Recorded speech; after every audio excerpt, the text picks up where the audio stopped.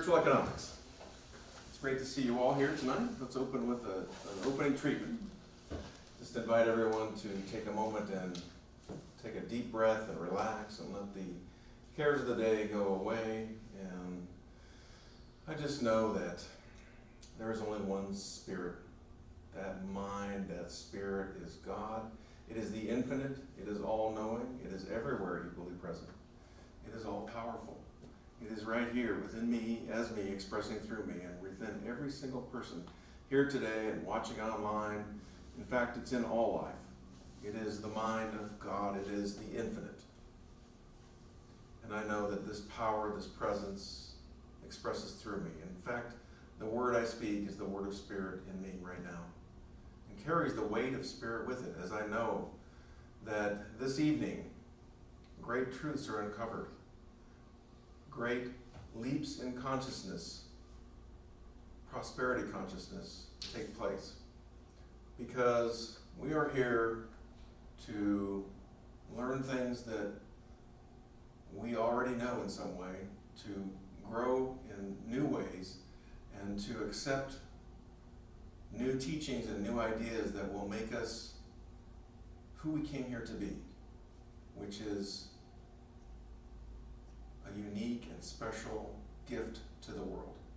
And I know that this is my truth, and this is the truth of anyone who so declares it. And I am so grateful for this, knowing this truth, knowing that this method that we call spiritual mind treatment is, is a beautiful, effective prayer method that anyone can use, and we will use it now and always to create our lives the way we want. And with gratitude, I release this word into the divine law, knowing it is already done.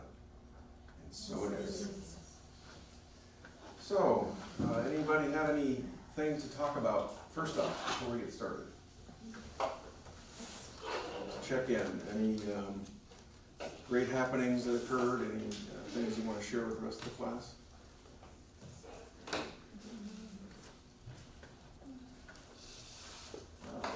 I'm still working on some things myself. Last time I talked about a business that I was looking at, so I'm still looking at it, so we'll see. Um, this opportunity just popped up out of nowhere, and, you know, I, I think it was probably, uh, well, we'll see, we'll see how it all goes, but I think it's, you know, just being open to those things is really what we try to, what we try to teach here, and what we try to do. So we're exploring that. Tonight we're going to cover uh, the chapter on reversing financial adversity, which is chapter 7. And, um, you know, well, there's really four main topics. We're going to talk about spiritual mind treatments. We're going to talk about how we converse with the universe. Talk about res- responsibility, taking responsibility for wherever we're at. And then the whole idea of success and failure. So those were the things that Butterworth talked about in chapter 7. And um, I also had a couple of handouts. Did everybody get those?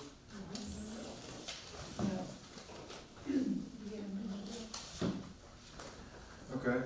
Um, you can go. Were they out, they out there? Yeah, yeah. Oh, okay, I'll keep, okay. I saw them, but I didn't know them all for us. Oh, okay. Me. Yeah, just grab a couple. There's two of them here. One of them is from the Science of Mind magazine. It's written by Jesse Jennings, who's a, a guest columnist that always uh, has a, a column. He's out of Houston, and, and it says um, about the law of attraction. And the question is, is it safe to say that the law of attraction and treatment are the same? Okay, interesting question. Since we're going to be talking about spiritual mind treatment tonight, I thought it would be appropriate to talk about that. So, uh, what do you think? Is the law of attraction and spiritual mind treatment the same thing?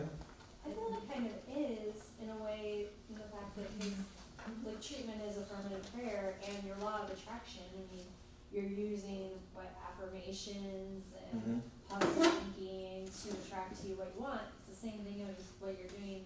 Well, I mean, in spiritual mind treatment, I guess you really, you should be knowing that you already have it. Law of attraction maybe is playing with that whole, I'm trying to get it. Right, that's a good point. But, um, in the, but it still like has the same positive aspects of Right. it where Yeah, you're affirming that it's yours. absolutely. Other people, uh, other comments or questions on that? What do you think? I mean, did anybody see that movie, The, The Secret, or read the book? Uh-huh. Yeah, so they talk a lot about the law of attraction in there, right? Is that the same thing as treatment? But, well, it is, but it also is the flip side, which treatment isn't.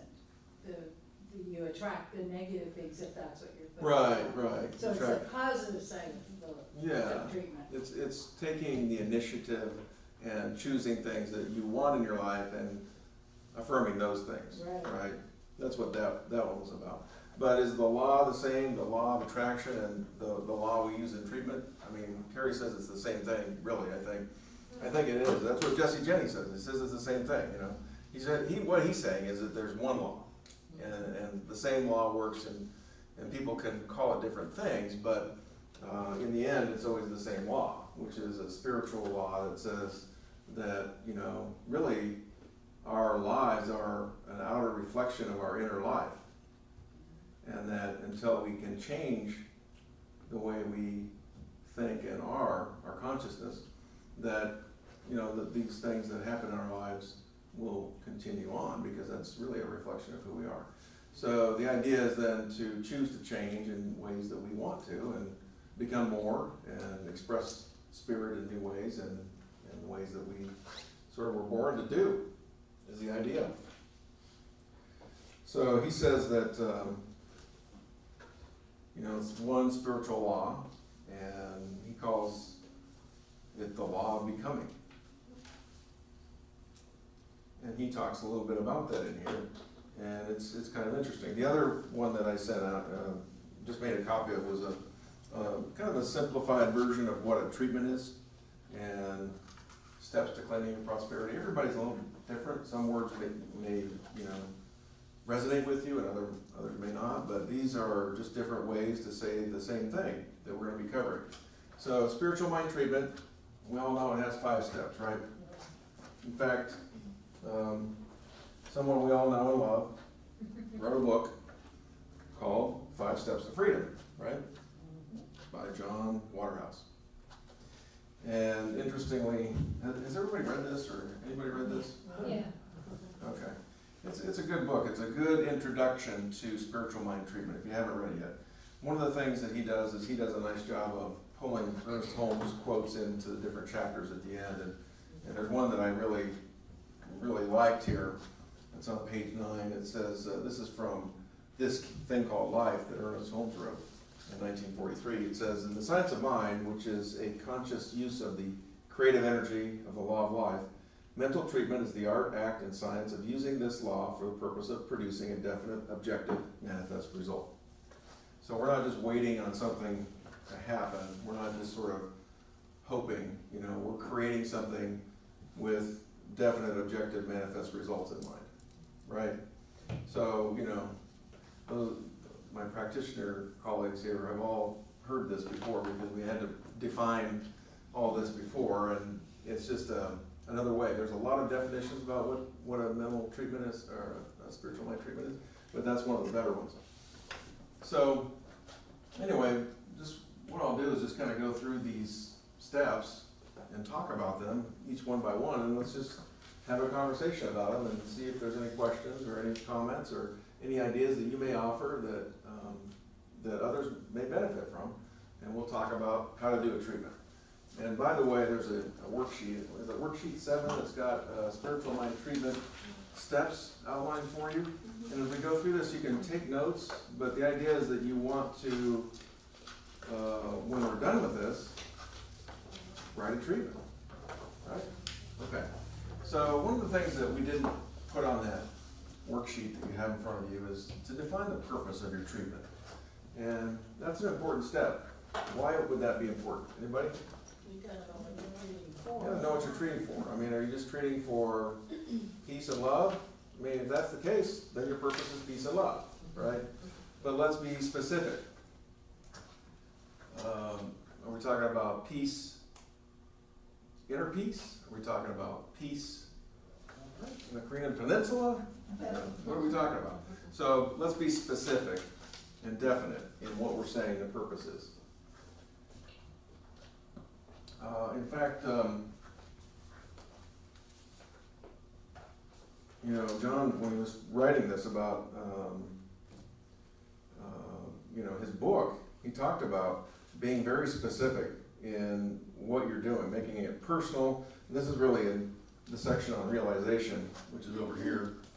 Uh, but it makes sense when you're talking about the purpose of your treatment to think about making it personal, making it present tense. You know how we talked about that the that very first couple of classes. We talked about writing an affirmation in the present tense and affirming that it's now. That's important, and also making it positive and making it precise. So we want to make those things when we think about our purpose. Go ahead and make some notes of it. What kind of a treatment do you want to work on tonight? What would be your purpose? And go ahead and make some notes and say, you know, how do you make it personal? How do you make it present tense, positive, and precise? And why don't you just take a few minutes and just write a purpose statement? What is the purpose of your treatment that you're going to work on tonight?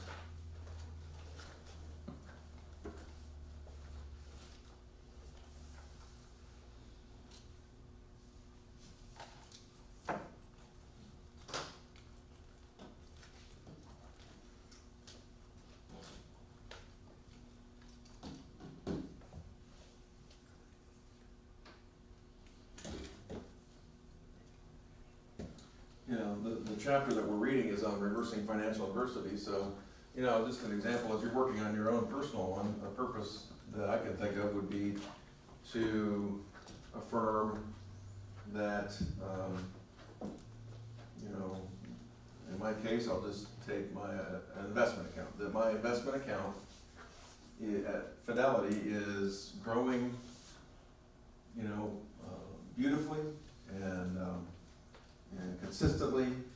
It is Safely. safely. It is it is uh, growing by. Uh, let's be precise. Ten percent per year. Okay, I'll take that. Anybody have any questions on that? Any, anybody have any problems or concerns that they're running up against? So let's go to step one. So we have a purpose. Everybody have a purpose in mind? Okay. So the next thing we want to do is, is really get into the treatment. Now, when I do a treatment, I get into, you know, a meditative state, so, you know, we're gonna, um, you know, that's normal, I think everybody understands that, but the idea is to really focus, is, is the point. But, you know, I know people who do treatments when they're driving down the road, and, and I know people who say to put passion into their treatments, they, they, they do a treatment like they're cussing, you know, with that same energy. You know, like, I know this is the case. And I'm, that's not my style, but I, you know, everybody has a different style. And um, the thing that we want to do when we're doing a spiritual mind treatment is get to a place of knowing.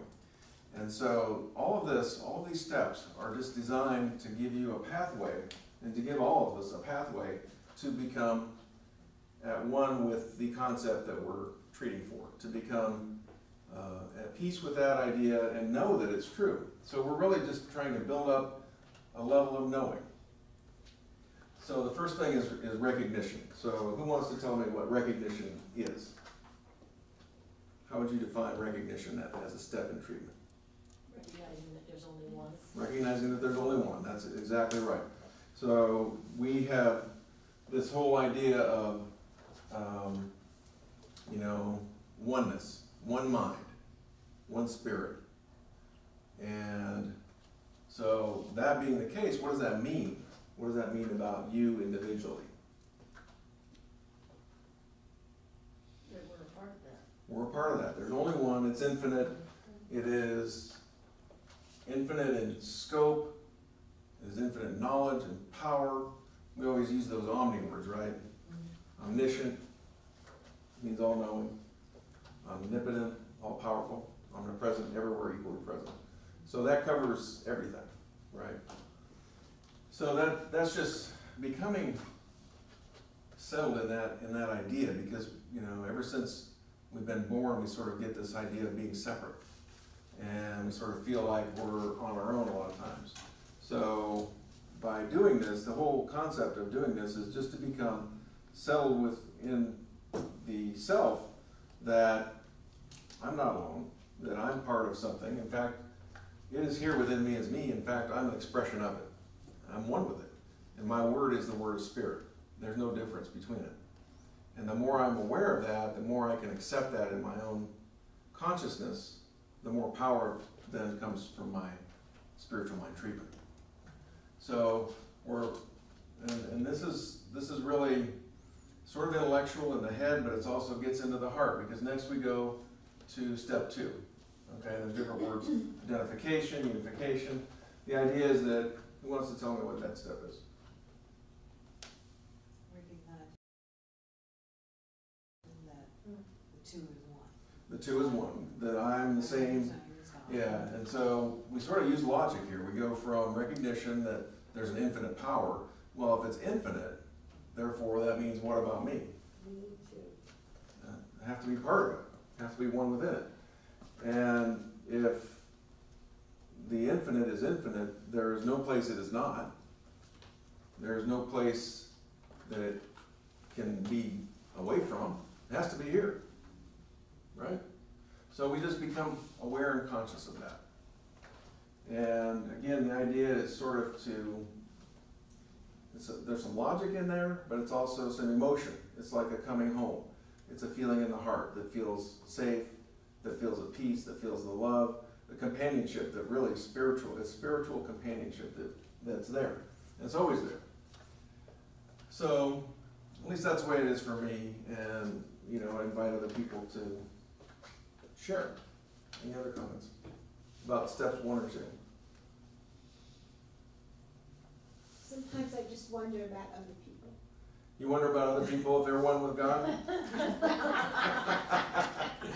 Yeah, we're all working on that. Yeah, you know, that's an interesting thing, and, you know, it's really, uh, as a practitioner, it's just part of our job to know that every single thing, including those people that are acting weird, or whatever, you know, acting out in some way, that they're still part of that whole tapestry of love that is God, that is spirit, that is mind. And there's no separation, and they may not be aware of it. We talked about takers, I think last week or the week before. You know, people aren't aware. You know, people just aren't aware. They, they just don't know. Probably deep in their heart they may know, but there's a lot of, you know, Junk junk that, that comes up, mm-hmm. that things that they've been taught or things that they've experienced in life that, that comes out in different ways. But, you know, I think if a person could get to know them and really, I mean, somehow peel away all those layers and see who they're true, who they truly are, I think it would be surprising that everyone would find, you know, you would just find that there is this beautiful God self that is within each person, as, as strange as it may seem on the surface. That that's the faith that that uh, in order to to do, you know, this spiritual mind treatment, it's just uh, a leap of faith to know that. Right, you gotta know it, but you don't have to find it. You gotta know it. gotta You may know not see it. You there gotta just know it's there. I don't know where it is, but I That's know right. it's there somewhere, but Yeah. it's not mine to find it. It's not mine at this That's point. That's how I feel, That's a good you one. know? I like that. Yeah, I like that. You know it's there. Yeah, I know it's there. You don't have to go searching for it right right, it's not mine to find it. Not right now. The, the challenge for me is when I see things like the shooting in Las Vegas or the ISIS, whatever, Yeah. it seems to me that when people forget who they are, they turn away from the light Mm-hmm. and go toward the dark side. That's when all these things that we see as evil occur. So I don't know how we can say it's all good. Mm-hmm. Because it's clearly not good for the person that's getting shot. Yeah. I Well- just, I can't, You know, I mean, we don't know. That's the thing. I totally understand where you're coming from, and I feel the same way oftentimes. You watch some of this stuff on TV, there's a kind of a crazy guy that's shooting people, whatever it is. Um, how can that, how can this, how can our philosophy withstand this act? Yeah, well, there was just a woman on TV, she put her one-year-old and two-year-old in the oven and killed them. Hmm, yeah. It's like, Yeah, and in all that, we know that, that that there is within that person, at the deepest level, at her core, hmm. is God in action. She has somehow forgotten that. She has somehow gone off the deep end, you know, Well, that, somehow. I agree with that, but I- then to turn around and say that her actions are, that there's good in her actions, I don't, I can't get there. I've been Yeah. struggling with that for twelve years and I just, Well, I- it's not, go ahead. it's not, excuse me, it's not saying that there is good in the action. It's saying that there is good in the person somewhere. oh, The well, yeah. action is not, we, uh, it is Yeah, what but it they keep saying we're It's not, we shouldn't judge any actions or whatever, but it's like, how can you not when it's, It's hard, it's hard not to, especially, we're built on the system of laws, and I mean, you know, that, that we have these traditions that go back to the Ten Commandments, you know, that our culture has built upon. And so we have to, you know, we have to react to these things in some way. When, you know, there's a, I, I look at it this way, there's a civil responsibility that our government takes care of, and that we as citizens have certain responsibilities, you know. I mean, we could decide just to go to a monastery or whatever, some sort of a retreat and live in the mountain and just know God, right? That would be a, that's an option that all of us have. Uh, we could go and just be away and just know that there is God. And that would be a, a life. That would be a wonderful life. But we all choose to live in society, and so we have other people to live with, and some of those people don't have the same beliefs and systems of understanding that we do. So we have to tolerate them somehow. We come up with rules and regulations and, you know, we vote, we vote for people. Every single person on the ballot is God in action in some way. They all have different ways of trying to express that. Uh, you know, so slicing and dicing that is where you can get into trouble. And that's where, you know, we hear about like knowing in the absolute that these that these people are God in action. We have to know that to do this kind of work. That doesn't mean we have to accept their actions as part of the, life that we want to live, the society that we want to live in. So that's kind of how I look at it: is that there's there's the absolute that we, we deal in when we do our treatment work, and then there's sort of the society that we live in where we have to we have to live with other people. We have to figure out how to do that. And um, you know, one thing we can do is just try to teach people this philosophy and try to help them to become a better person. So, you know, I, I, I won't accept I don't accept that those are okay. Maybe something good will come out of it. I don't know. You know. well, The other, you know, the other thing is that the, you know, the idea of an eternal life, you know, um, we have, um, beliefs and systems about a life, you know, being precious, and it is. Um, it's an eternal life, you know, we have forever. So believing that can change the way you look at things as well. But it's sometimes hard to, to believe that when we see these things. It's hard to remember that because a life has been lost and there's grief and people are suffering and sad. There's no way around it. So people have to work through it and, and then, you know, what I like to think is that we all learn something from it. We all become better people somehow through it. And that the people who are touched by it directly somehow are healed and become a better person as well. So that's, that's all we can know for them, I guess. That's the way I look at it. Well, it's like the Holocaust. You know, people say, oh, well, all these different things changed in the world, but they didn't really change. I mean, the same kind of stuff is going on right to this very day. I mean, that's what ISIS is all about. They wanna kill everybody Yeah. that's, that they don't approve of. Yeah, there's some So, old ideas out there. What aren't was the point of six million Jews being murdered? there? Right, there was no point. And they didn't voluntarily sacrifice themselves, they were murdered. Right. And I, I just, I don't see how anybody could say that, that there was any good in that. Yeah. Well, you know, I mean, Just because some, maybe some good things came out of it, right. doesn't just, you know, what they got out of it was not worth the expense it took to get there, Yeah. In my No, for sure. I mean, it was wrong. It was terrible. No, no doubt about it. Um, what do you, s- what do you think, Michelle? Well, the only way I can get my brain around it, because it makes, it just doesn't make sense on every level to me, is to go back to what Ernest says, that our, we are souls ever expanding. And if that, and if, when I, when I know that, which is getting more often than less often, mm-hmm.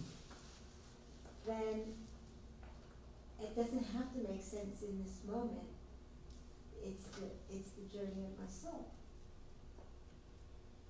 And when I try to be practical about it, you know, I used to have this image of like a conveyor belt and all the bodies were going and the souls were getting put in one way or another through some orifice, that's all I could come up with.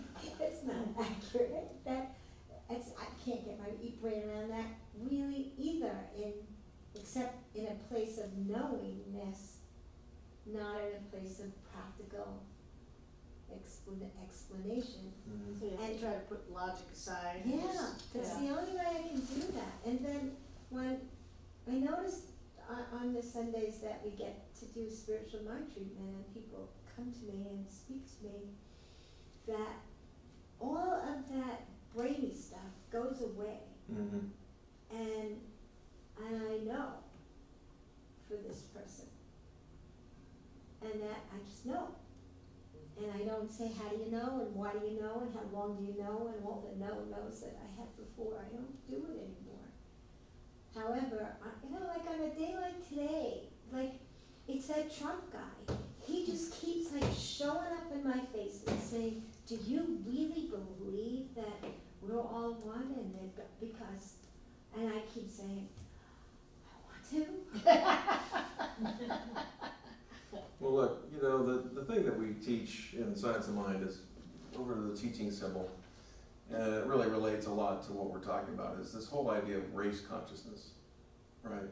So the idea is that there's one mind and everybody's using it, right?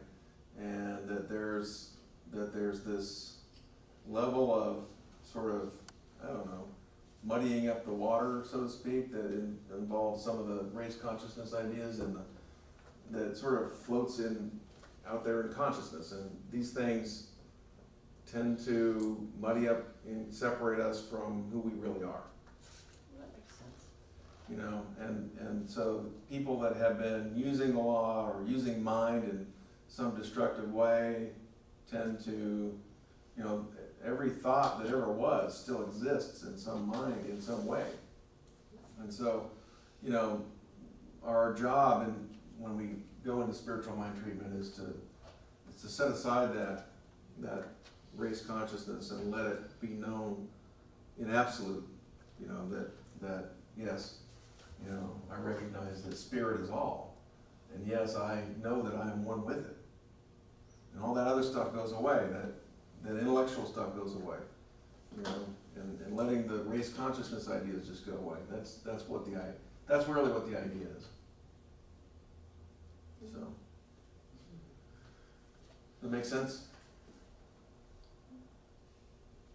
So once we've come to that point, and I know, like Michelle was saying, when we do treatments in the, in the sanctuary and we're knowing, you know, the, the one minute miracles, I know for myself uh, anyway, is when I'm doing that and, and at step one, step two, I'm sort of almost, you know, outside of my awareness of where I'm at and what I'm doing.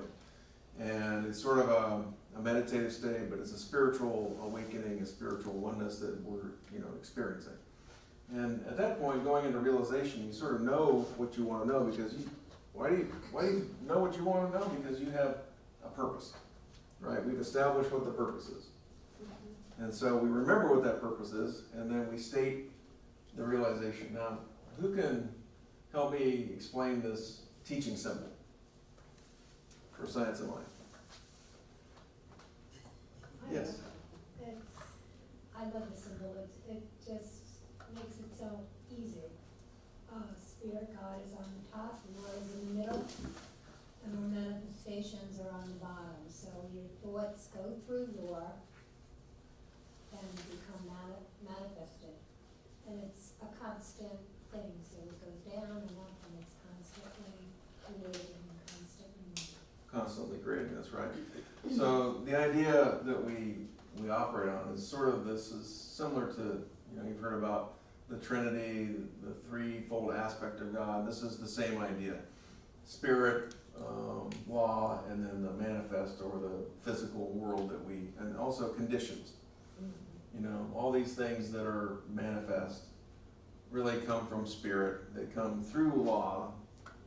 Law, you know, what happens is spirit, the idea is that spirit is the, is the um, initiator, sort of the thought, you know, the creation comes here, create, the creation idea, it goes through law and then becomes manifest. It's sort of like, you know, the good analogy is you're gonna plant some seeds. So the seed is the, is the spirit coming up with what this is, what this is. It goes into the soil, which is like law, and then the plant grows. And when you plant, It doesn't matter if it's positive or negative, it's anything you're thinking. yeah, you put a weed in there, the weed's gonna grow. You put a carrot in there, you're gonna get a carrot, you know, potatoes. You're not gonna plant a sunflower and get a rutabaga, right? So, you know, having a defined purpose, knowing what that is, planting that seed in law is the idea of what we do at realization, right? And I think we don't have to realize, we don't have to know how it's done, and I think that goes back to trying to figure out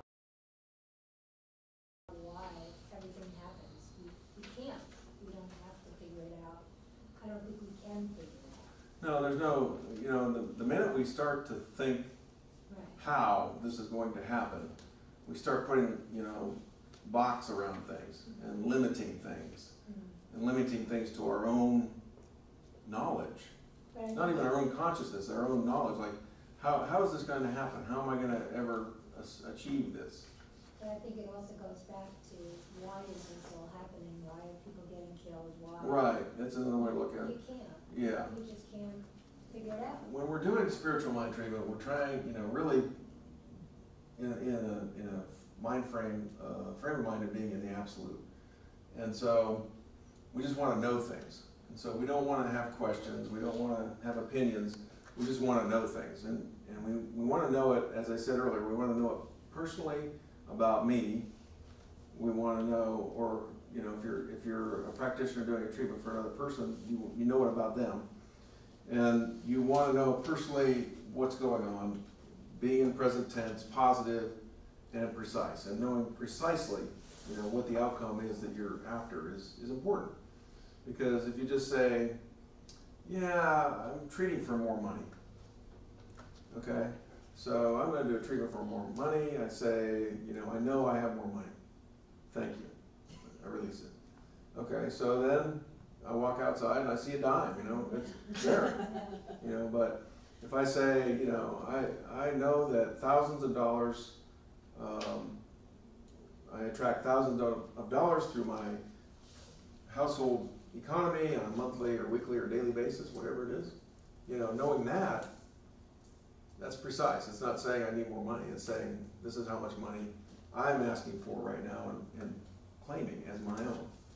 And it sounds kind of funny, but that's a good way to do it, you know. And then suddenly, ideas start popping into, you know, the consciousness saying, I could do this, or I could do that, or I could change this, I could change that, and suddenly turn around and thousands of dollars are coming through on a daily, monthly, whatever it is basis. And you're like, wow.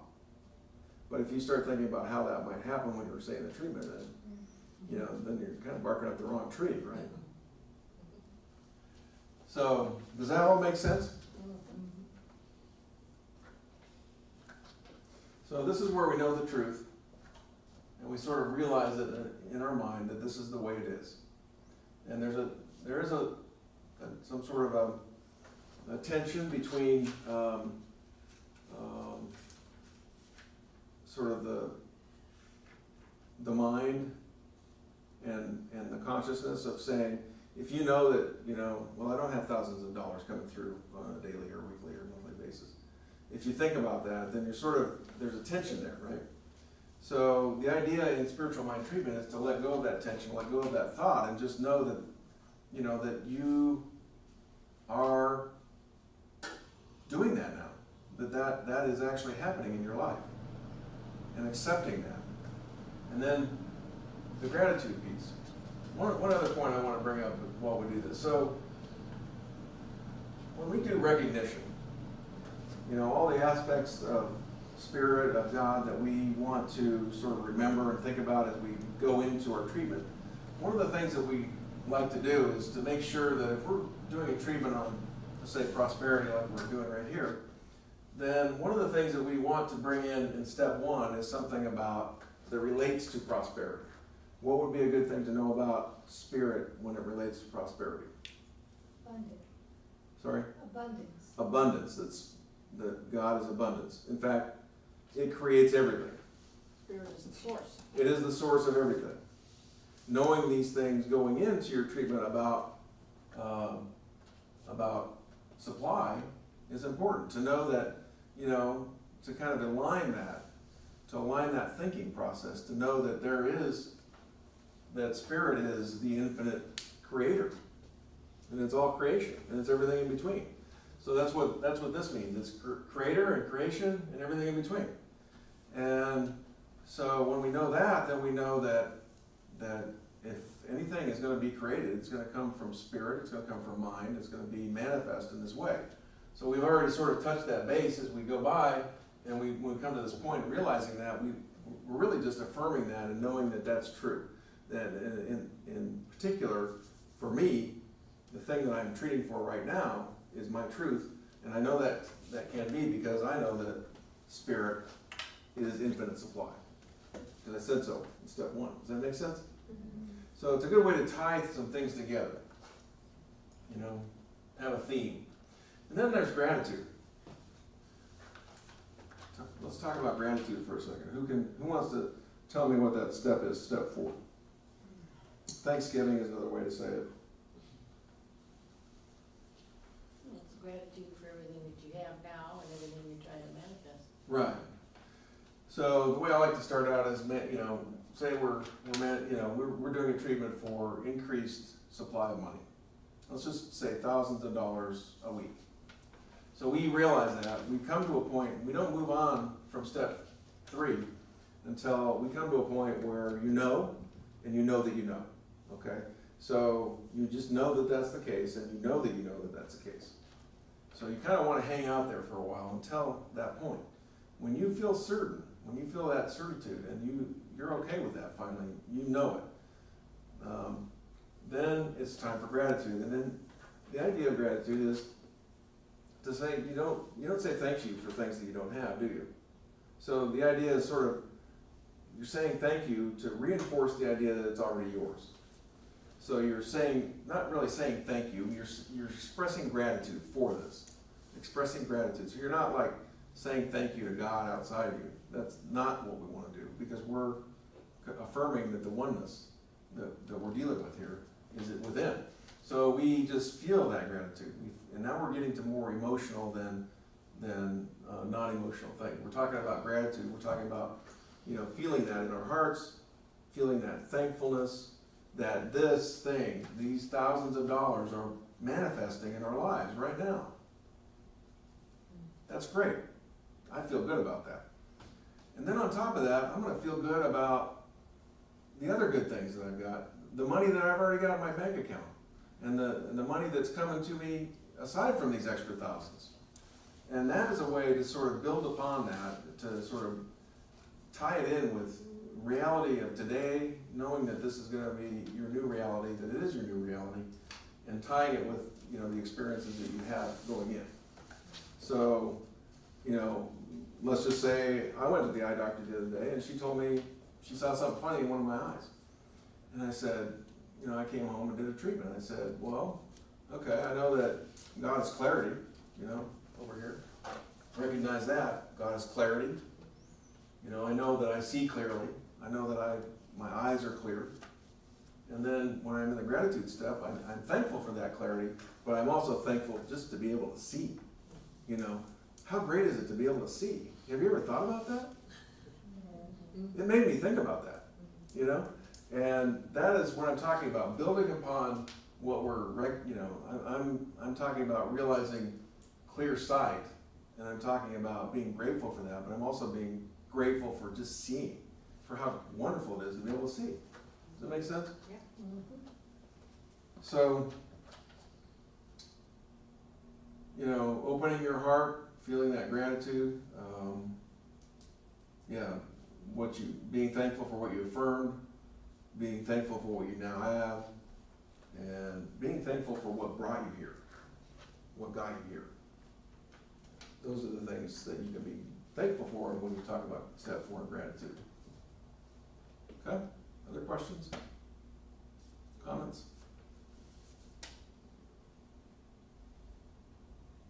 Okay, so now step five is release.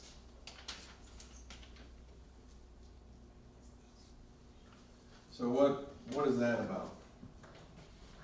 Just let go and worry about the uh, outcome or how it's gonna happen or Yeah, when. exactly. We don't, we don't worry about how.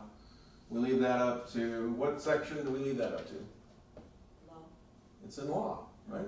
The seed has been planted, it's in, it's in the law now. And just as the day follows the night, just as if I drop this, it's gonna fall on the ground, it's a law, it's like a law of gravity. Once I know it, it's up to law to manifest. It's, it's, it's gonna happen. So you can just let it go, you don't have to worry about it. If you worry about it, what does that do? Stops it. Yeah. Sort of, st- it could stop it. I mean, it could. Because why? You're not believing what you're saying. Yeah, when you went into realization in step three, we knew that something was happening. I knew, when I did that step three, I knew that my eyesight was clear. And then I got out and um, something looked fuzzy and all of a sudden, you know, I didn't feel like, you know, I'm like, did that work? What's going on? And then I gotta go back and do the whole thing over again because, Yeah. because I just kind of messed it up, right? I messed up my, my thinking process. So the idea is you want to stay at that high level and let it go. Just let it go and know that it's done. So that's the whole idea of step five. We don't worry about how, we don't worry about why, we don't worry about anything. We just let it go and know that it's, does that mean that you never do the same, treat for the same thing again? No, because, you know, if it, if it hasn't manifest, you may want to continue to do treatments on, on, on a regular basis, sometimes a daily basis. And sometimes just doing a treatment um, to increase consciousness or something can, no matter where you're at, you always want, may want to increase your prosperity consciousness. So, you know, it could be um, this big one day, this big the next, and you want to keep doing it. There's nothing wrong with that either. So there's nothing wrong with doing a treatment for, you know, the same um, uh, purpose over on a regular basis. There's nothing wrong with that. But we do release it, the idea, at the end of that step five.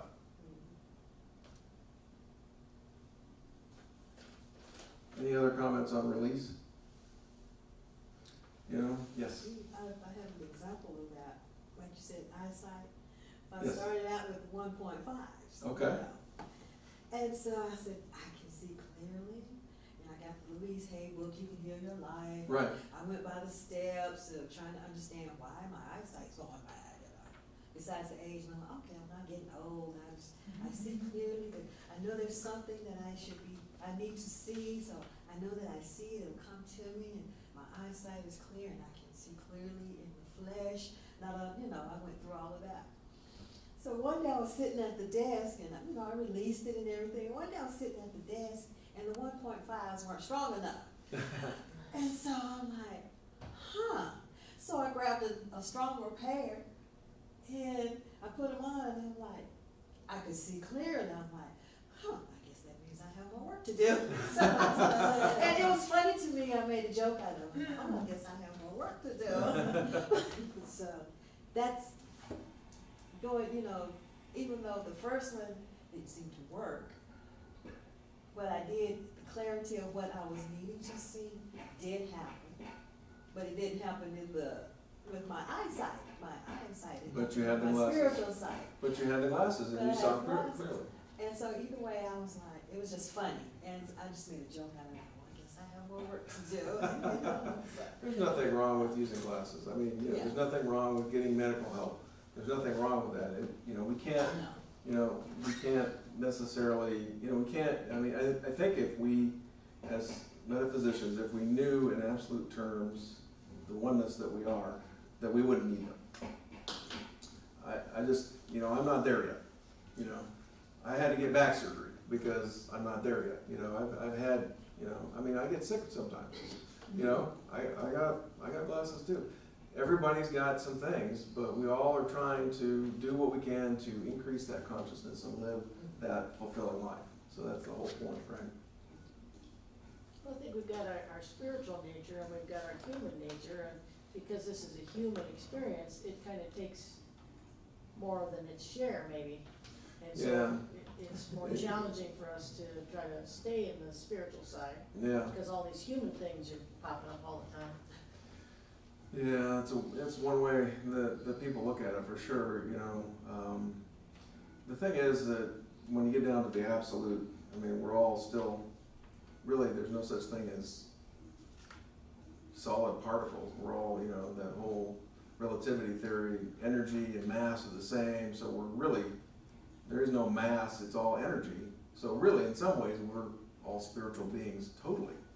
But we live in a physical world, we perceive it that way, and so it's easy to fall into that, you know, trap, I guess, or existence that we have that says that this is this is our lives, and this and this this body is who I am. Mm-hmm. But we know intellectually and to some degree spiritually that there's much more than that. Mm-hmm. So, interest. It's you know it's it's a it's an interesting problem that we face, and, and it's just one that just takes a lot of you know, to some degree, it takes some think, thinking and thought. And another degree, it takes just a lot of um, consciousness awareness, just spiritual awareness to know we're okay.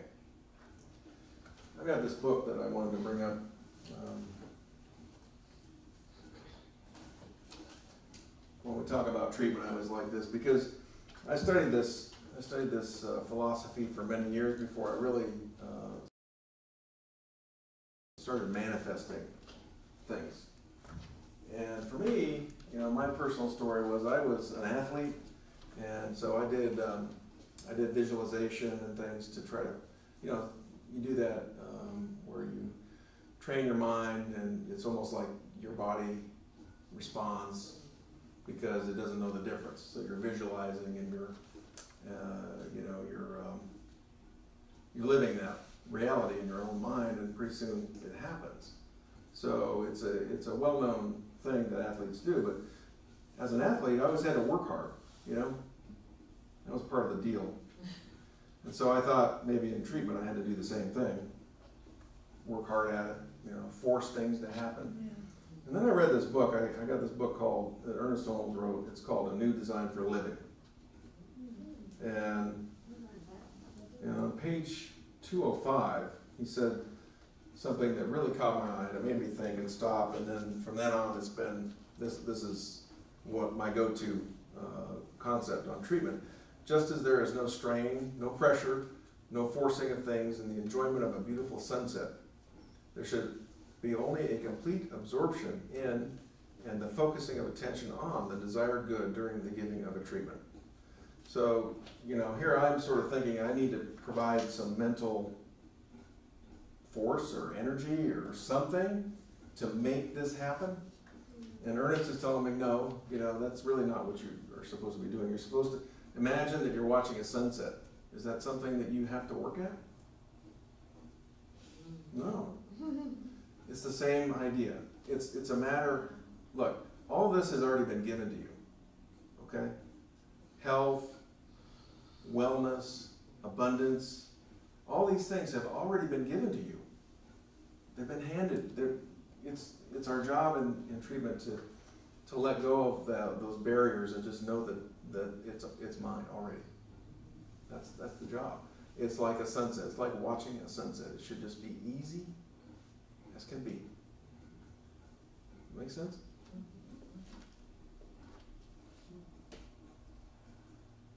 All right. Well, anything else on spiritual mind treatment? Why don't we take a little break then?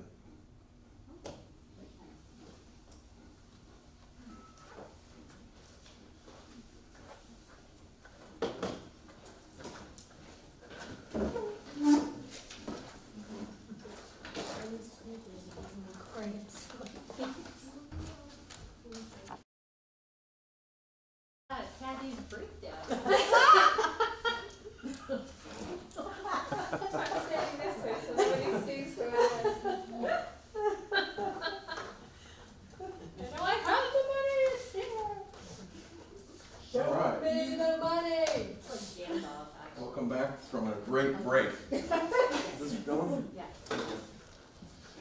Okay, so, one of the things that we started out doing, but we didn't finish, was your treatment. So, uh, why don't you, I think it's worksheet seven, right? Why don't you pull out worksheet seven and just spend a few minutes filling in, you know, what is it that you want? What is the purpose of this treatment? Uh, there's, there's not a space for that on there, right? But you can write purpose right up on top, and that's important, just to be clear about that. So what's the purpose of your treatment? And then, uh, go ahead and, and, you know, spend a little time filling in, but really focus on, I, I think for me, the most important part is that realization part. You know, mm-hmm. sort of like steps one and two are building up to that point. Steps three, step four and five are sort of bringing you back around after that point. But the real meat of the treatment is in the realization. In fact, you know, if we, if we were able, if I was able to walk around with a good awareness of who I really am, and, you know, that spirit is all, all the time, then, you know, theoretically, I could just know something and it would happen. But, you know, I'm not there yet, so I go through steps one, two, and then step three, and I do do that. Um, but, but it helps me to, to become more entrenched in my thinking from the standpoint of believing what I'm saying. Because I know that the word that I'm speaking is the word spirit. And that is a powerful word. So knowing that, when we align ourselves with that spiritual principles, we know that the law happens, it's gonna happen. We don't know how or why, but it just does. But then realizing what it is that our purpose is, realizing that that's our truth right now, giving thanks and releasing, it's done. And then the hard part is going about your daily life and not worrying about it. But that's part of the release. That's part of the release. That's why we release. We release so that we can let go of the how, let go of the why, and let the law work. Trust in the law, let it work. Yes. The thing that, that, um, has been important for me is to keep on walking. And to do the things that are the divine expression of Michelle, Yes. cause then I'm a happy girl. Mhm. And then I can just keep, I can keep on walking, so however long it takes, it takes. And the thing that's really different for me now is I'm not waiting to have joy in my life until it takes. That, that is a big change. You're having joy in your life now. I'm doing what I can do now, Mhm. and I think that has to do with my birthday. Yes. Because that, finally, I have let go of not knowing how old I am. Yeah. Well, and it sounds to me like you've given yourself permission to be who you are, to experience life mm-hmm. authentically. And mm-hmm. that's a great place to be. So no matter what happens, I, I know that I'm doing that, whatever form that takes. Yeah. So I, I don't have room for worrying anymore. Like, mm. The things I worry about never happen, and the things I never thought about, and the things that happen, what is the purpose of worry? Does it make any sense. Yeah, well, like I brought up the other day, uh, a few weeks ago, you know, worry is a prayer. You know, anytime that we think strongly in terms of what is or isn't true, we feel it, you know, that's sort of a prayer, isn't it? Didn't we say that our thoughts create our, so, you know, being careful about what we think about is, is hard, you know, but it's, it's really important.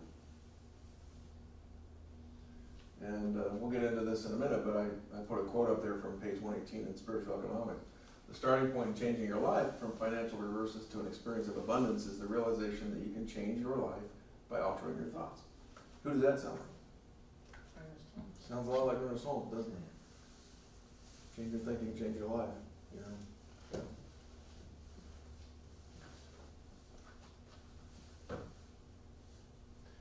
Okay, so you can spend a little more time on this, you know, refining what you do with your spiritual mind treatment, but I would invite you to, starting tomorrow, and I like to do this first thing in the morning, is to, you know, get into a quiet place and just focus, maybe focus on breathing, meditate for five minutes or something, and then go ahead and, and go through your five steps. You know, look at your purpose, you know, go through your five steps and let it go, and then just go back your day, see what happens. But also to go back to it and, you know, go back to it until it, it manifests. Some people like to just do it once and know it's done. I like to keep going until it manifests, but that's just me. So. Any other questions on this part, spiritual mind treatment? So, just to sort of tie this in, we talked about chapter seven this book is called Reversing Financial Adversity.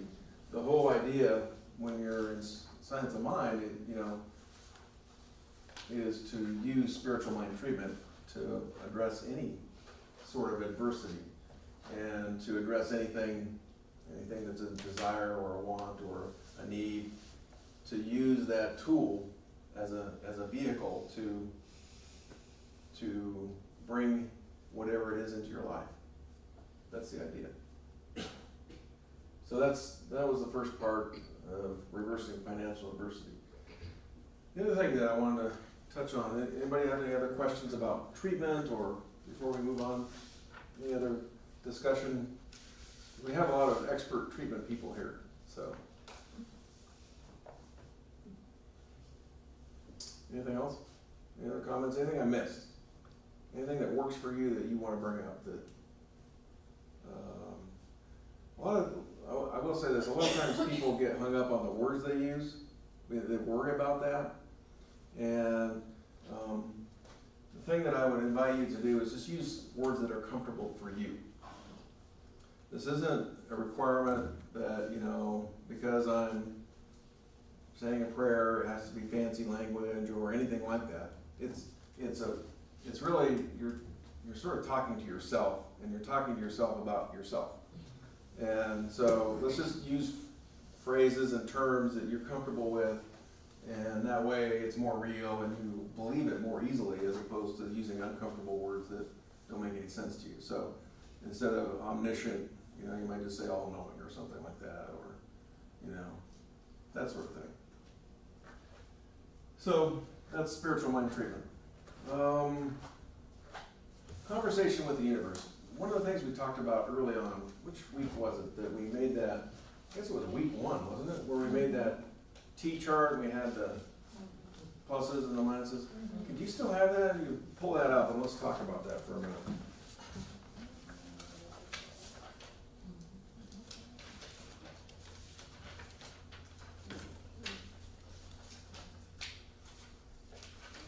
So worksheet one A, right? But also, we, we had that, um, little note card thing.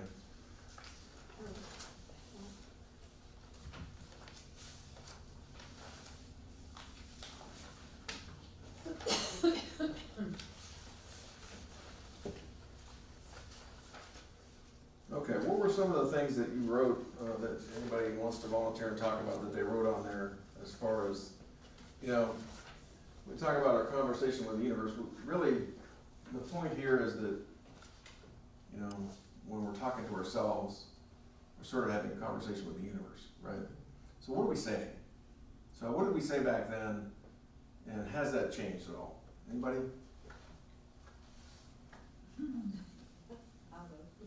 Okay. Well, at the time, when I first started the Monday night class, I bought a book and then it disappeared.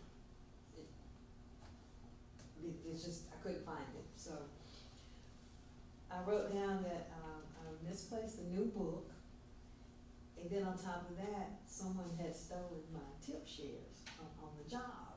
Oh, It was no. my first week.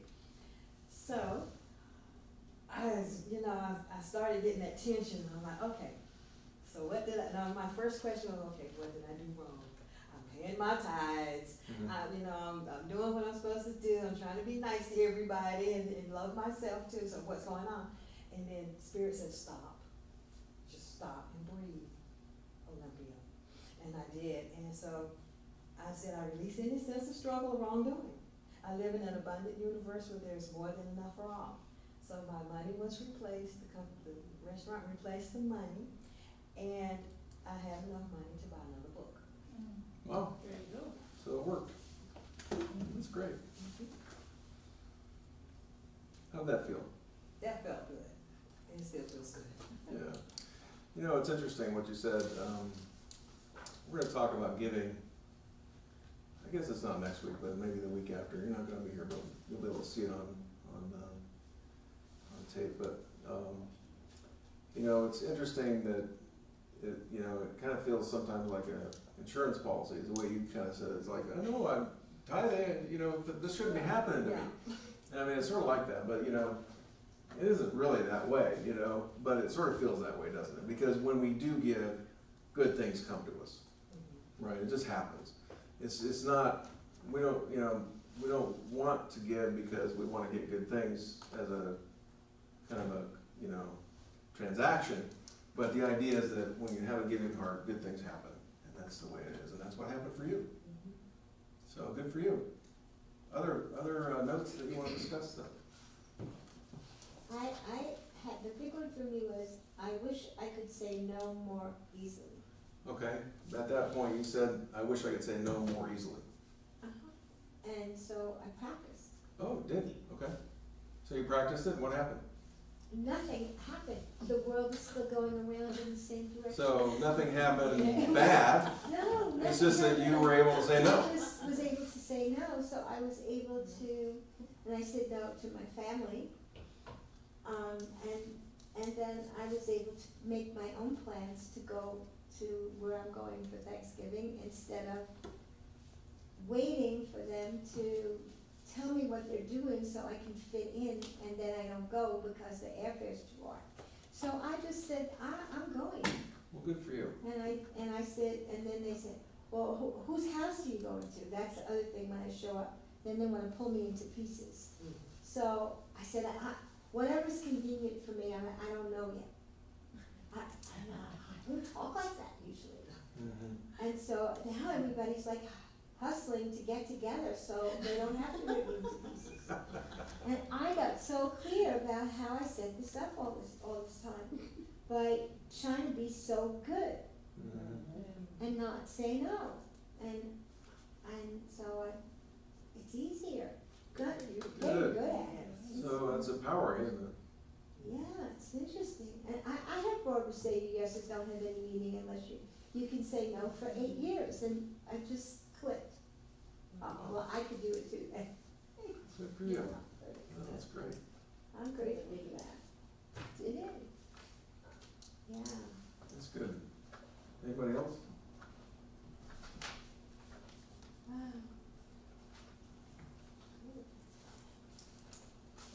I didn't have it written down, but I, I did notice it the other day, um, usually if I have issues with my animals, I, in the past have like freaked out and am very anxious about it and whatnot.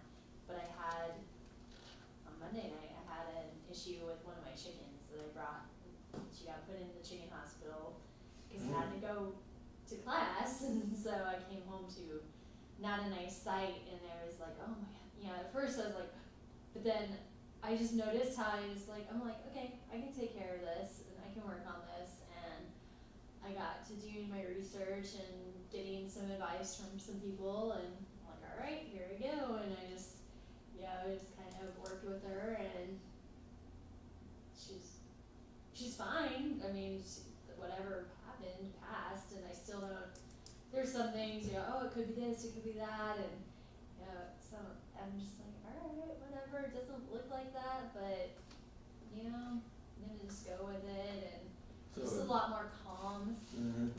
and, um, so you just went about your business and took care of it. yeah, instead of like I have before, like freaked out. I'm like, Mhm. oh my god, what am I gonna do? This chicken's gonna die, and Where is the chicken hospital? it's it's a uh, dog kennel that I have, and it's inside. Oh. I knew what she was saying. One thing that I found, and maybe some of you have found this too, but, you know, talking about spiritual mind treatment, um, you know, um, children and animals are Mhm. very responsive to spiritual mind treatment. Yep. You know, it's just, it's just that way. And, um, you know, they are just naturally healthy and there's, there's no intellectual, like, They just don't have, rigmarole. like doubt and stuff. I mean, and that's what I did to her too. And Yeah, Melissa Rowe always told me I should ask my animals first, so I do. I Yeah. went down. I'm like, "Can I treat for you?" yeah, And she just looked at me and she's like, like, all right, here we go, you know. And so I treat, and I I've done that actually for all my animals, Right. and yeah. it works. I mean, I have dogs, and it, it's just, I had this dog that was, um, you know, she's getting up there in age, and you know, we have this idea about a dog should be winding down at this age, you know. So I'm thinking, well, yeah, and so you know, and she was having some trouble, and I don't know. I think her her like her hip is sore from maybe arthritis or something, and so she starts licking it. And then the next thing I know, she's got this big patch of skin where she's licked all the skin, all the fur off. You seen that? Oh, and pretty soon it was just really, really, really disgusting. I mean, it was like infected and everything. And I was like, duh, why am I not doing a spiritual mind treatment for this dog, you know?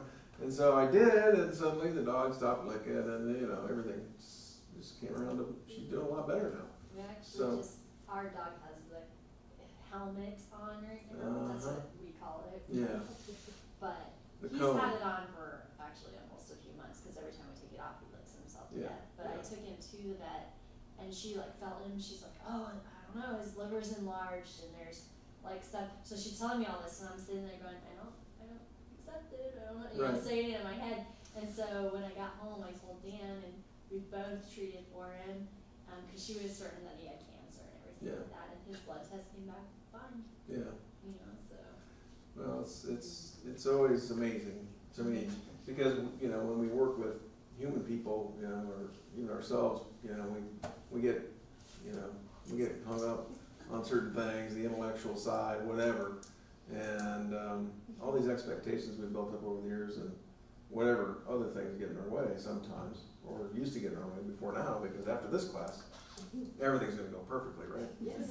So, uh, and anyway, but animals and kids, and you know, with kids, a lot of times it's the parents because, like I said, you want them to freak out, and when you're freaking out, the chicken's gonna freak out, you know, because they're gonna feel your energy, and that's the same way with kids. They kind of freak out when the parent freaks out, you know.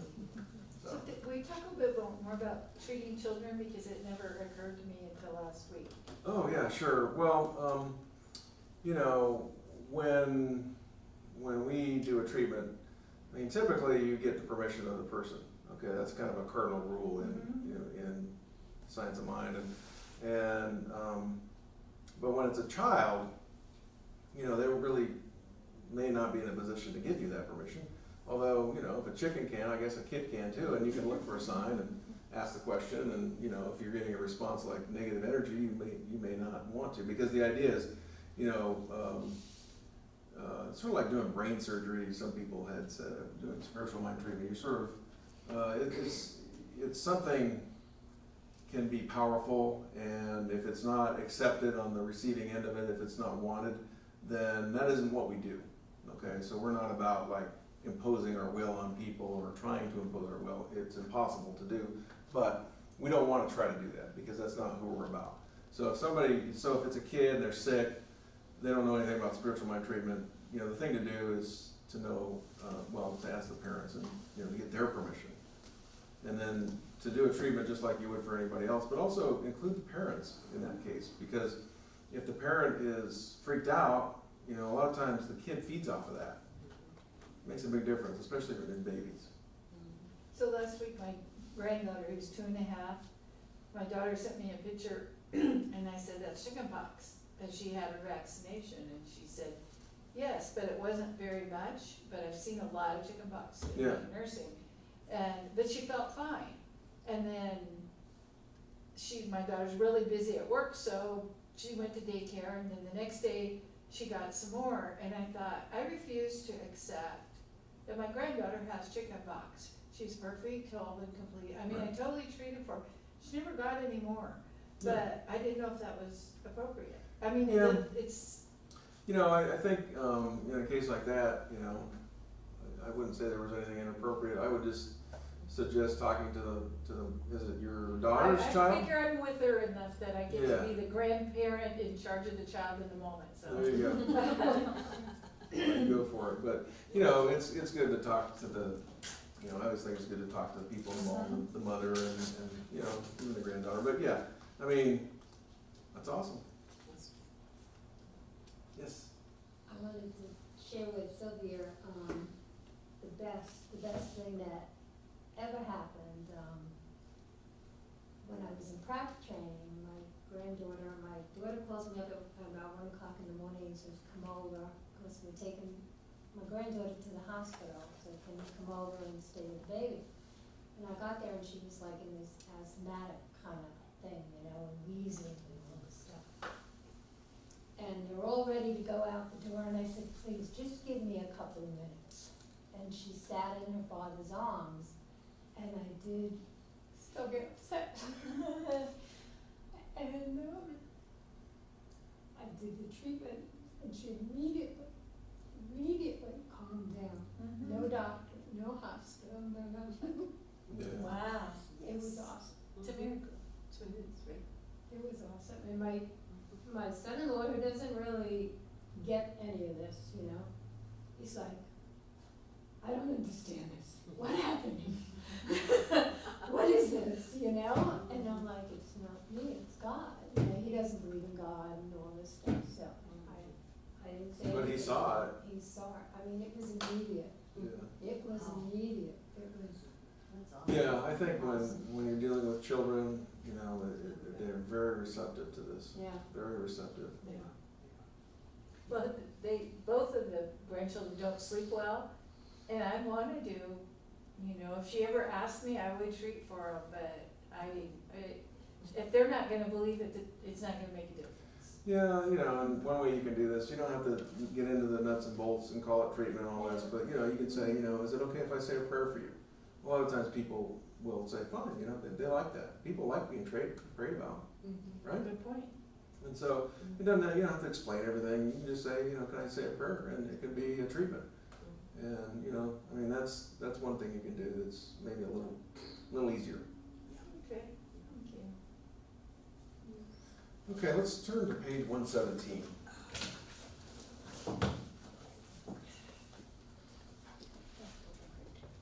You know, I talk about our conversations with the universe, and I've heard people uh, talk about, you know, when I go to work and, and, you know, everybody's like naysayers and nagging and whatever, right?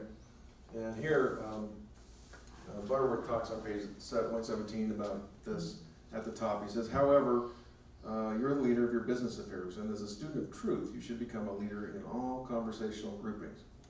Thus, whenever the discussion turns to the high cost of things and the lagging business of your employer, and the frightening cycles of inflation, recession, don't acquiesce in negative conclusions. Position yourself squarely on the side of prosperity potential and let something good be said. People talk about, this was probably during the Reagan years, he talks about supply side economics, but what we need is truth side economics. What do you think of that? I like that. Yeah. I like that phrase. Truth side economics. So then, I'm just gonna kinda go through and, um, highlight a couple things. Page one eighteen. Um, that first paragraph, you know, and, and I put part of it here, but it says, the great discovery of the new insight and truth is that consciousness is the key to all things which happen to us. Certainly the key to personal prosperity. The starting point in changing your life from the financial, any financial reverses to an experience of abundance is the realization that you can change your life by altering your thoughts. And you begin by taking responsibility for your own life. So that was the next point here is responsibility. So when we look around at where we're at right now, we have to come to the conclusion that we're at the point we're at because of consciousness, because of who we are and what we've done in the past, our own thoughts, actions, and activities. So, um, you know, he says as long as you're hung up on paranoid thoughts, it's like, oh, it's what they're doing, it's happening in Washington, it's Trump, it's uh, office politics, the IRS is harassing me, um, then you can't find any kind of help through truth. So what we do is admit that any present experience that we have, even the condition of your bank account, reflects your present level of awareness. You're not a victim of circumstances. Consciousness creates circumstances, or at least sets the climate in which they happen. When you establish yourself in this awareness, then you're in a position to change things.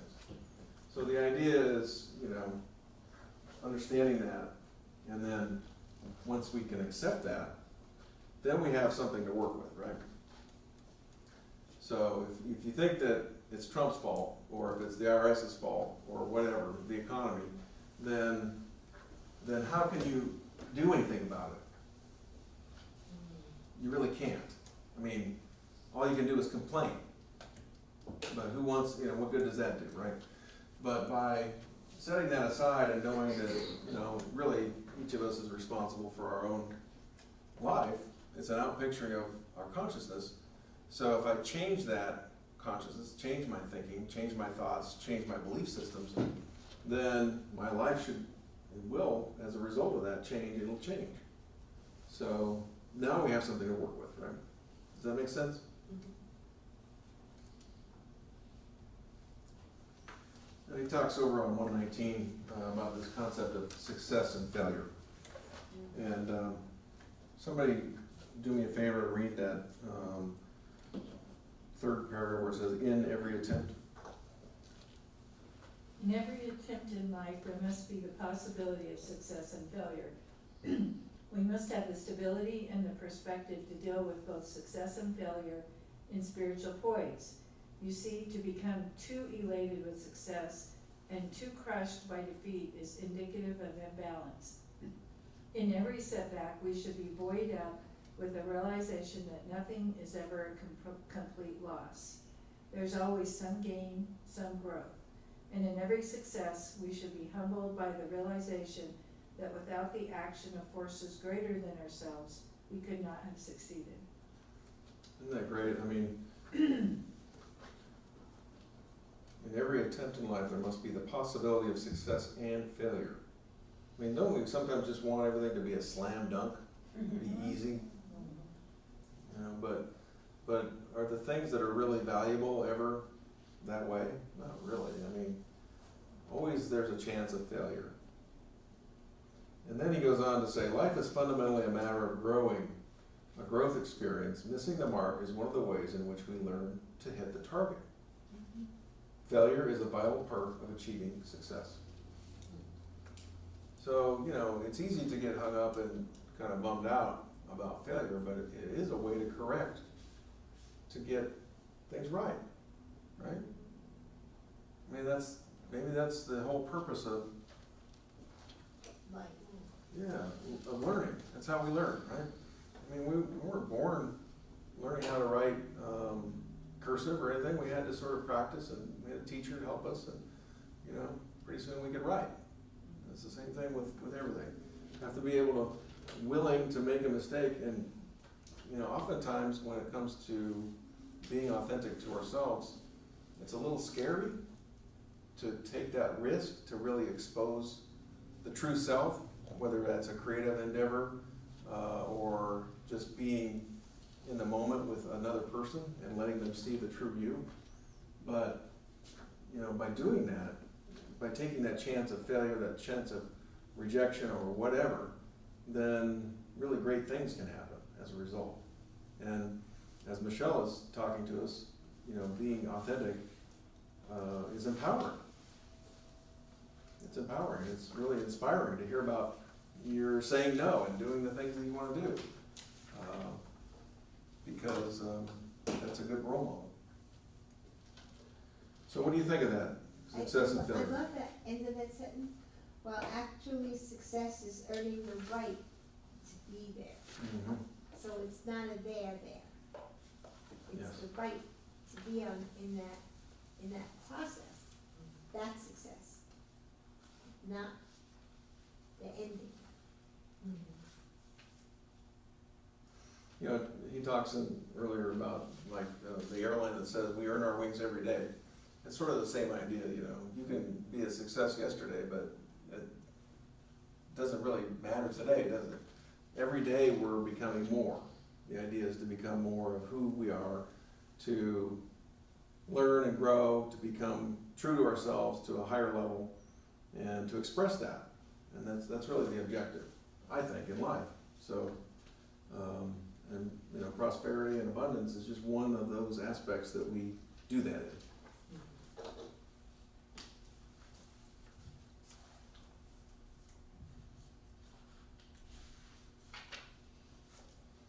Over on page one twenty-two, in the bottom, uh, that last paragraph in the middle, it says, "The problem of financial reversal did not come into your life to stay, it came to pass.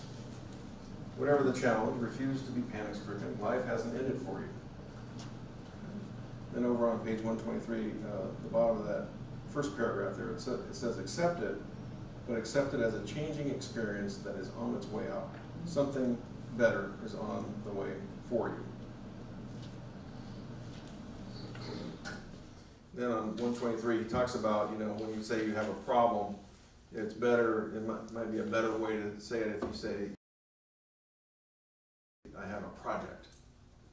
I, I, I kinda like that. I'm a project manager, so I like the idea of a project. Well, it just changes the whole, um, energy it too, from problem. Oh, it does, I mean, um, yeah, imagine somebody walking up to you and saying, Marco, I got this problem, versus me walking up and saying, you know, I got this project I'm working on. It's a whole different thing, right? Mhm. So, it's, uh, I think that's real powerful, it's a, it's a nice concept. I was, um, just thinking, uh, in the passage in one twenty, on page one twenty, Mm-hmm. it talks about educating people, preparing them for, you know, think failure, but, we don't call it failure, but, you know, preparing them and, and not just expecting them to succeed and. Right. uh, And so, I don't know if y'all knew what happened on the news today about the guy that went to the job and shot up his. I uh, saw something about that, yeah, I didn't, know, coworkers and, and took off and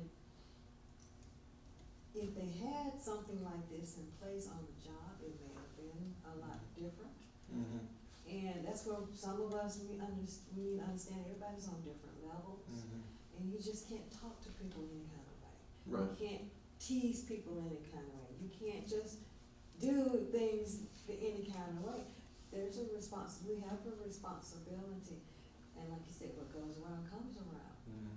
They probably never thought he would do anything like that. no, But, you know, and I was just, all of this coincides with that is that when people to, it, in, and so it says, education, uh, any education that prepares people only for success and not for coping with the frustration of things going wrong is sadly def, def, deficient. deficient, yeah. Mhm.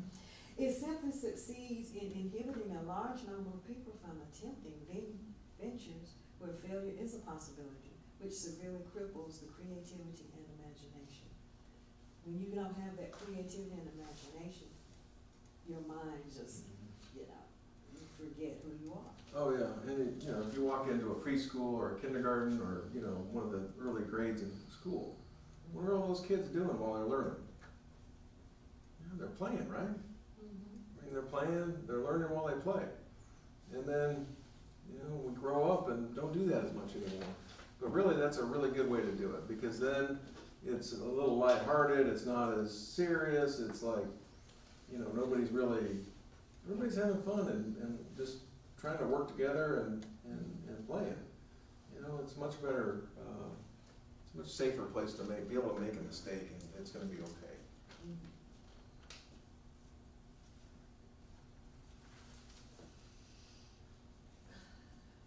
You know, I talked earlier, um, over on page one twenty-six, I underlined something in the middle of the page there. It says, you are always responsible for the way you accept the things that happen to you. And that reminds me of, you know, I talked earlier about Viktor Frankl, and he was in the concentration camp, and, you know, his thing was, uh, my last freedom is, is just that. My last freedom is being able to choose my own response to my circumstances.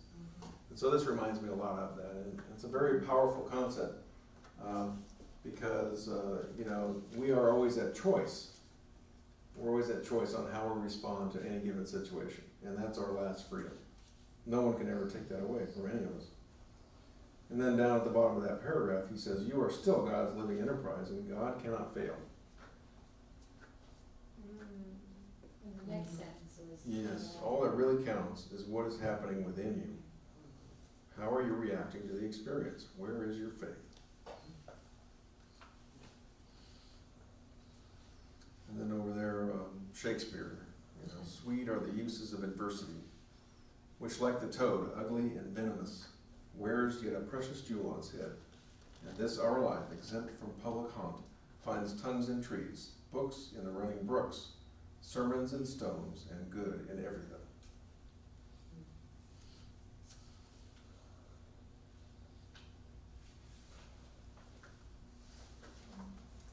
And then, who wants to, to wrap up the chapter? Uh, over on page one twenty-eight, there's an italicized area that kind of really would be a good affirmation or a good prayer. So somebody could read that for us and we'll read along. I know that this is the best thing that could happen to me, for I know that in the happening, there is revealed a new lesson to learn and some new growth to experience. I know that within me is an unborn possibility of limitless, limited, limitless potentialities, this is my opportunity to begin to give birth to new ideas, new strength, and new vision. I accept the reality of the difficulty, but not its permanence. I am not at the end of anything, I am simply between opportunities, between jobs. I know that in the movement of it has come to pass, something wonderful is on its way for me, far surpassing anything I have ever known before. And if I should feel the slightest irritation of fear or anxiety, I will say to myself, all right, let's get busy pearling.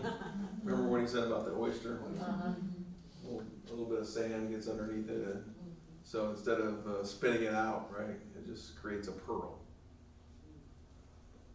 So we get a little irritated about something, uh, we can embrace it in this way uh, and know that um, something that can be irritating is, is there, uh, it has come to pass in some way. And that we have the ability to grow beyond it and to learn from it and to become a better person for it. That's the idea. Make sense?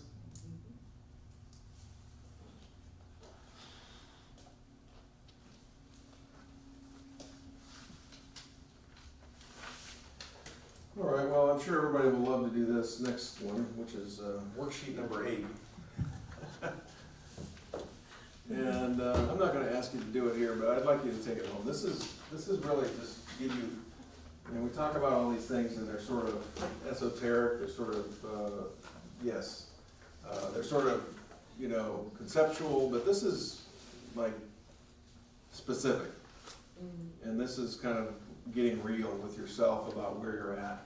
And the, and the reason for even doing this is just to become sort of, uh, you know, sort of look in the mirror and say, well, this is where I am right now. This is, you know, who I am as far as this aspect of my life. You know, what are my, uh, what do my numbers look like? Does everybody have that? You find it? So, you know, when people talk about financial aspects, sometimes they talk about net worth. This is sort of what that is. Okay, you look at your assets, you look at your liabilities, and you kind of think about where you're at. And it just is a, is a, a way that you can kind of see where you're at right now. Um, that's the whole point of it. So we're not going to share this in class or anything, but it's, it's an exercise that can provide you with a, um, a place to build from. And, you know, you may be, um, happy with the numbers the way they are, you may not be, but either way, it's a place to build from, right?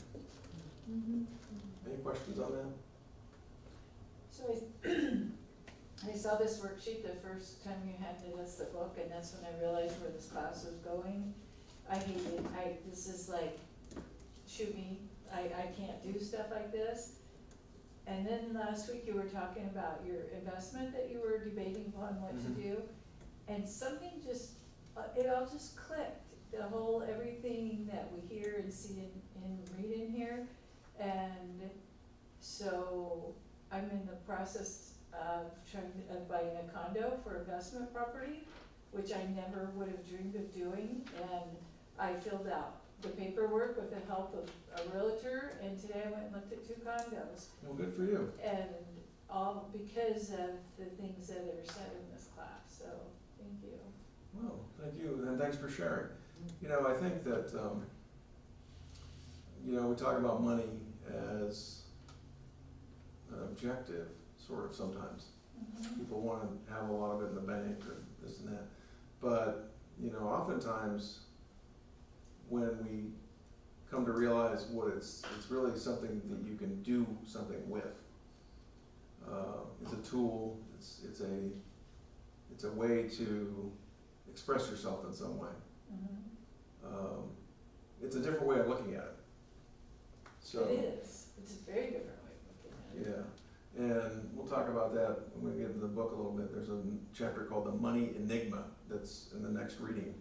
And it has a lot to do with money. It's sort of like your relationship with money is important to how you respond to, you know, finances and how, and how, you know, you're sort of, it's back to that thing, you know, do you think that money's evil? I mean, are you, I, you know, I, I was talking with a family member over the last couple of days, and she was raised, I think, in a more traditional religious upbringing. And, um, she had, um, a conversation where she said something like, um, uh, you know, I went on this mission trip, and I think she probably went and helped, you know, very impoverished people. And she came back feeling like she was a greedy person, because she wanted to, to live in, you know, we live in this affluent society, really. When you compare it to the rest of the world, it's a, it's a very affluent society. And, um, so she felt guilty about that, and so she changed her life around that, and now she's, you know, live, doing things differently, but, um, I don't think she's any happier now than she was then. I think she's poorer than she was, you know, financially. Uh, and, and she's just as frustrated now, I, I think, as she was then. So, we're gonna be getting into that whole idea of what's your relationship with money when we talk about the money enigma. Chapter coming up, so interesting. But, um, anyway, other comments or questions about the exercise? Yeah, I had one, um, looking at the, these financial, you know, set, the way they're set, they don't really, some of the stuff is not positive, like he was saying here about the emergency fund. Right, We right. talk about having an emergency fund, but when you say that, that means that you're, or you're saving for a rainy day. Yeah. I never thought about that, Right, but when you say emergency, it's like, oh, you're waiting for stuff to happen. yeah, yeah. Well, you're gonna need that money to take care of that. Yeah, he talks about, uh, a little later maybe in, Yeah, in the I'm book about right. opportunities, you know, having money set aside for opportunities, which is what you were just talking about. You know, I always talk about my grandpa who, you know, he set aside money and, um, when, you know, when the economy went bad or whenever he had some money, he would buy things like, he bought a, a trailer. In fact, uh, you know, he bought a, one of those Avion, those silver, you know, aluminum Avions and drove around the country, you know? Mhm. And it was because he had, you know, that, and he decided to use it as an opportunity, Yeah. opportunity fund. We, we used to have a saying, some people still say it when they, they hit the lottery, oh, that's my mad money. You know, you ever heard that phrase, that's my Mhm. mad money? No, no, no, no. And I thought about that too, I don't use that anymore. Now people ask me, oh, what are you doing working as a hostess in a restaurant? I thought you went to school, so, oh, this is my fun money. Mhm. This is the money I have fun with. You know, I take this, you know, my, my spirit, my healing practice is, you know, I pay my bills with that. Right. But this job, this is my fun money right Mhm. here. And they're like, oh, and it's just, you can see everybody's attitude change when I mm-hmm. say that. And they're like, oh, well, you, you just happy, you just, and then, you know, and that's, that's, I leave it at that. And so now when I say I have a savings account, it, my savings account is my opportunity account. There you go. And he talks a little bit later about, you know, No possibility. and why do you, why do you have an insurance policy, you know? A lot of people in this teaching ask themselves that question, it's like, I'm just waiting for bad things to happen.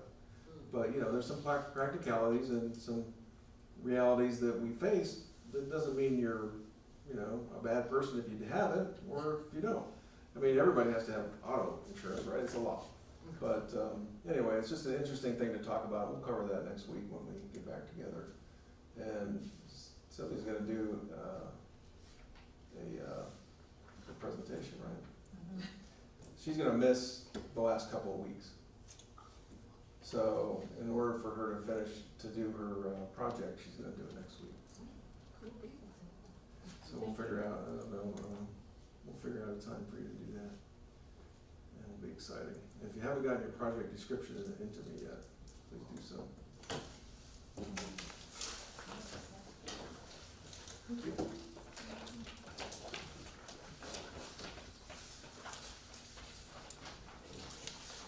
All right, so how do we, if we had a, if we had any financial adversity, how would we reverse it? What would we do? Change our thoughts to begin with. Change our thoughts, use spiritual mind treatment, right? And we have a practice treatment that everyone has written for themselves. So I would invite you to do that, to use that treatment, to expand upon it, you know, to go in and, and really think about these things and, and, um, don't overthink it, but really feel it. I think that's where the power comes from, is the emotional feeling. What would you say? Yeah, I would say exactly that. Yeah. So there's a, there's really a, a strong emotional impact when, when we say or believe these things with, with the, the feeling that comes with them. So, um, you know, just invite you to do that, to allow that feeling to come through. That makes a big difference. So, any other questions or comments? So, we'll have our fun time of giving. And I will invite you into treatment with me as I know that spirit is the supply, the infinite abundance of the universe, the creator, creation, and everything in between. Spirit is manifest in all, all forms, all power, all energy, all substance. And this substance is infinite. It is everywhere equally present, including right here within me as me, and right here within this room, and within all these people, and all the people watching online. That this spirit is one, it is love, it is prosperity, it is abundance. And I affirm that each person has that power and presence within them to take control of their life in new and abundant ways, to know that they're a child of God, an expression of God, one with God, spirit in action, spirit living the life of spirit, which is a powerful life, which is a life full of opportunity to give and to get, to grow and to live and express who they really are. And with all that comes great abundance. It is natural. And I am so grateful for it. And I release this word into the divine law, it is already done. So it is. So next week, we have, I think, the two chapters of reading, right? We're on chapter eight, nine. Yeah, Thank you. Already read so you're all set. Um, so, like I said, we'll talk about the money enigma, and we'll, um, we'll go from there. It'll be very exciting, interesting, more growth opportunities, and we'll have a wonderful, uh, final project. Now, remember, we're gonna have a final exam as well in class. And, uh, that's gonna be week number eight. And we will, um, spend a little time, week seven, preparing for that, but nothing to worry about. We'll, uh, we'll end up working together on, on that, and, um, I'm sure it'll be a learning experience. That's what we want to have, is a learning experience, right? So thank you all for coming, thank you for this, Thank you. and have a wonderful evening. Paul, can the paper back? I'll get you one. I have that, I have that special. Could you turn off? Thank you. Would you, uh, just push that button on the right, sort of on the right side, that red button. Well,